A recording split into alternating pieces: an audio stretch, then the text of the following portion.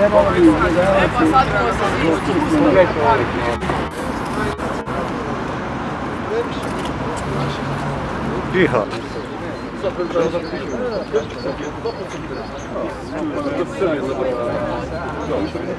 u razgovoru s ljudima se upoznam i sa njihovim problemima i vidim kako oni a, imaju a, rješenje, kakve ideje imaju za rješenje. A, ono što mi je rečeno i što sam sam bio svjestan do sada, ali mi je potvrđeno, da su prometna pitanja jedno od glavnih pitanja koje muče stanovnike ove četvrti. Dakle, tu prvenstveno mislim na pitanja povezanosti s ostatkom grada.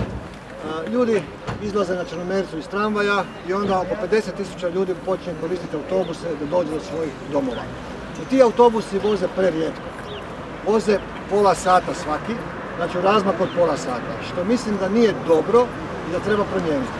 I u tom smislu smatram da bi trebalo barem 15-20 minuta biti taj razmak između jedne linije koja ide na jedni smjer.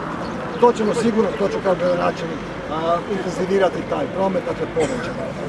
Druga stvar koja muči ljude u prometu ovdje je ono što sam već više puta isticao u svim dijelovima grada kroz koje polazi naša pruga od Potusena do Sesveta, dakle razdvaja na južni i sjeverni dio grada naš grad. Grad nije funkcionalna cjelina.